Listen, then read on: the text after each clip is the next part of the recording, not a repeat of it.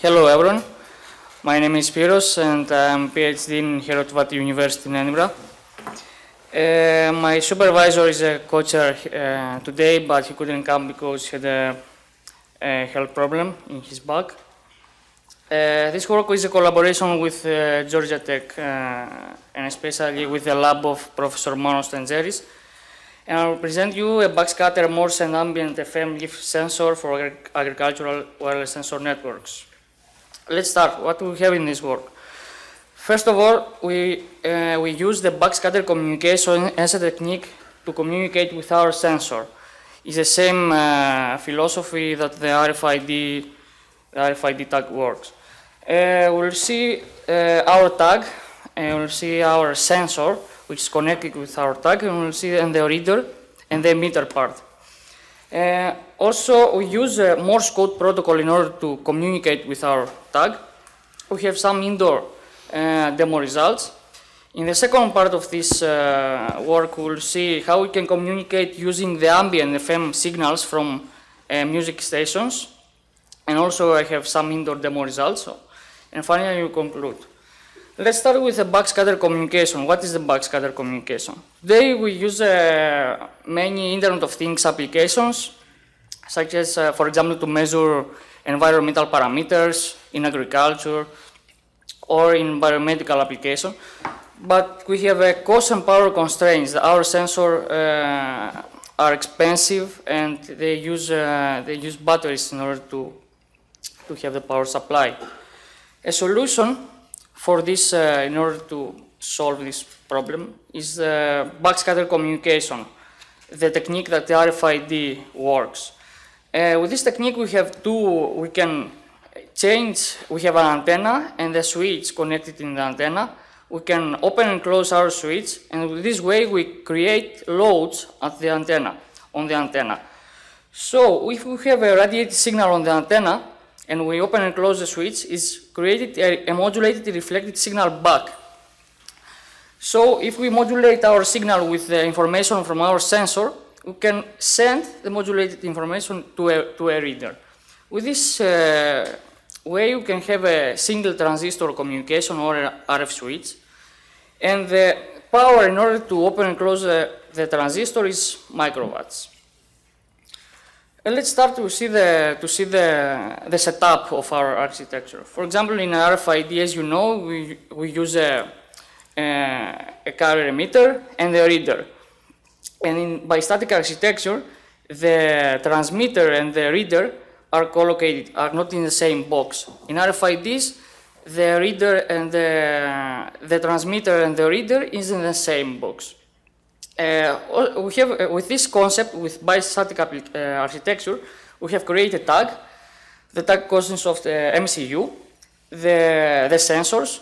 It captures the sensor information with an ADC, an analog digital converter. And also we have an, RF front end. The RF front end consists of the antenna and the, and the switch. So this we can measure, for example, in agriculture, as you can see in the second, in the second plot, we can measure, for example, as we'll, uh, as we'll see in the next, we can measure the temperature at the leaves. For the reader in this work, we have, we have used a software-defined radio, as we'll see in the next. Let's see the tag. What is the tag? We have used a, a MSP430 microcontroller, and we have uh, fabricated a sensor board and the RF front end. The sensor board is a closed-pin sensor board that contains two temperature sensors. The one sensor measures, it's a two analog uh, temperature sensors. The one sensor measures the temperature at the pores of the leaf, uh, under the leaf, and the other, temperature, uh, the other temperature sensor measures the temperature of the air. From the bibliography, you can see that if we, if we have this difference between the two temperatures, this difference is related with the meteorological event of rainfalls. For example, when a plant, when a plant needs water, this, uh, this difference increased. And when we water a plant, this difference is increased. So we use this way in order to see if a plant needs water. Uh, also, the RF front end, which contains the, the RF switch and the antenna, uh, it consists of a an uh, RF switch ADG902 and the middle, uh, the middle dipole antenna, we have tuned the antenna at 868 MHz.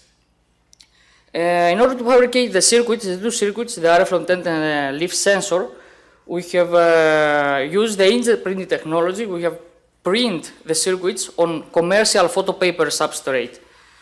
Uh, we fabricate the circuits uh, in the lab of Professor Manos Tentzeris in Georgia Tech. Uh, also, you can see the prototype in the, in the picture. The prototype, the, we use the development board, as I mentioned before, of MSP430 microcontroller. The development board contains also real-time uh, real-time clock and the sleep mode operation in order to reduce the average power consumption. Let's see now how we can communicate with the Morse code.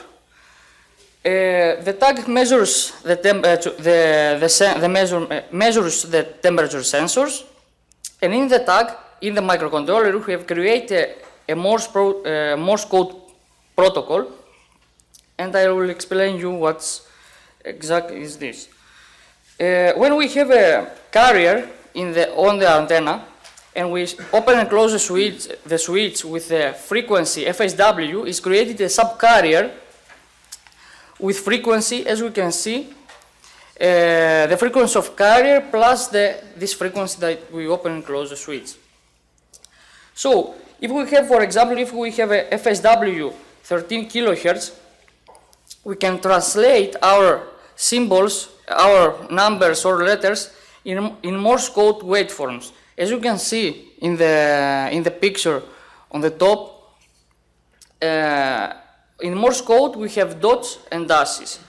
So we can translate the one dot in, a, in this waveform, uh, wait a moment, in this waveform, and one dash in this waveform. One dash, one, one dash is three times uh, the one dot.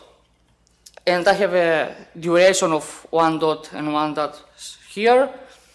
Also between the letters, we have a space of one dash, and between the words, we have a space uh, seven times the duration of, a, of the dot. And for example, the letter C is translated to the sequence of dash, dash, dash, dash. Uh, with this way, we can create, uh, okay, create waveforms in the microcontroller, and we have subcarriers, sub, a subcarrier, and we can translate, we'll see in the next slide how we can translate our information. Here I have an indoor Morse uh, demo. This is our tag here. This is our generator. It sends a carrier at 868 megahertz. This is our reader. Our reader is a software-defined radio and especially is a RTL SDR. It's a TV tuner that with a correct with a correct driver you can convert it in a software-defined radio. You can have I and Q samples in your computer. Uh, so we measure, for example, a temperature Uh, value in a microcontroller and we translate the temperature to 28 degrees at this sequence and we produce at the output of our microcontroller this waveform. With this waveform, we control our switch and at the receiver, we have this waveform. So you can see that we can translate the signal that we send in, in the microcontroller with the signal that we have at the receiver. This is the way how we can communicate using Morse code. It's more, uh, it's not an expensive way, so, and also the bit rate is completely low. So we don't uh, spend uh, much power in order to communicate with this way. The distance between the, the tag and the, and the reader was a half meter in this case. Uh, let's see another concept uh, in the same philosophy with the same sensor we have uh, also the same, uh, the same tag, the same leaf, uh, leaf sensor. We have changed the RF front end, and the concept is to don't use an emitter. We don't have a, a carrier emitter at 868 MHz this time, but we use the ambient FM signals from the mountains. So here we have a plan, we measure the temperature difference, we have the ambient waves here, the, the waves coming out the antenna, the tag modulates the the signals, we have a reflected signal back, which is modulated with our information. We'll see that we use a different communication technique, as we will see in the next slide. Also, in this case, we have changed, of course, the RF front end because now we are not at the 868 megahertz, we are at FM frequency, so we need a, a, a big dipole in order to communicate, but it's the same switch. And also we have uh, interpreted the two circuits, also in this case. Let's see now how we can communicate with this way. Uh, in this picture, there is an example. Here is the the tag, here is the reader, here is a sensor. In this case, we use a on-off keying modulation, we use a amplitude modulation with FM0 encoding. It's the same technique that the RFIDs uh, work. As, as we can see, we have bits in this case. We don't have symbols in order to translate them in Morse code. And we can see that this is the waveform that the microcontroller produced in order to control the switch. And this is, the, this is a packet, a full packet with a preamble, tag ID, sensor ID, and the sensor data. And you can see that the reader, we have this waveform. We can see that we can uh, export the bits uh, because the, the, uh, we can uh, translate them because we know the duration of each bit. Uh, what's the problem with FM stations? Uh, here I have two plots with two different bit rates. If, I have, uh, if, we, uh, if we have uh, low bit rate, we can see that we have channel fluctuation due to the channel of the FM station and the propagation, of course. But uh, in order to export this waveform, we have done matching filtering. But we can see that the matching filtering is perfect. We can, good, uh, we can, we can filter effectively our waveform. If we increase the bit rate, for example at 500 bps, you can see that we don't have channel fluctuation, but the filtering is not so good. You can see here some high frequency spikes. Uh, we extend our experiment in my university in Edinburgh, and we try to increase the tag to reader distance. So we use a new RTL SDR with a cost uh, $18 only, and we tune our system in BBC FM station. The FM station is uh, next to the Glasgow, is, is in Black Hill, I think, location. And it is 34 kilometers away from our lab. We can see here the transmission power of the, of the FM station. And uh, in the lab, we had, uh, with a spectrum analyzer, we measure the, the power of the carrier at minus 51 dBm. And this is the setup. This is the setup in the lab. Here is the tag. Here is the tab, the, the FM station signals coming from outside, and here is the reader. As you can see, we achieve 5 meter communication between the tag and the reader, and here I have two plots with uh, packet error rate and bit error rate for three different bit, uh, three different bit rates. As you can observe in uh, lower bit rate, I can, I can achieve uh, better packet error rate. And we can extend our ranges if we uh, fabricate better RF front ends, I'm sure for that. Uh, also, I have two extra slides about the receiver algorithm. I don't know if it's uh, necessary to show you the two slides, but we have created an online receiver al algorithm in order to take the data live. This is a FM0 encoding with uh, decoding. And the next slide also I have a, this is the packet that the microcontroller produces in order to control the switch. And this is the absolute square operation. I have, I done absolute, I take the absolute square value in the receiver. And this is the packet after the matching filtering. Uh, let's summarize what we had in this work. We had a low-cost backscatter sensing system with this technique, with the Morse code and with using the ambient FM signals we can communicate with ultra low cost and ultra low power. The power of the, our system is some uh, is uh, about 100 microwatts, but now we try to use better uh, microcontrollers and some other sensors in order to reduce the power. Uh, we had the real-time demos. Of course, uh, the receiver was ultra low cost receiver.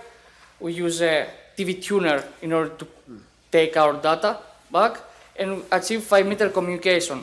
The next goal, as I mentioned you, is to make a more low power tag and to make a better RF front end in order to increase the range. Uh, thank you for your attention.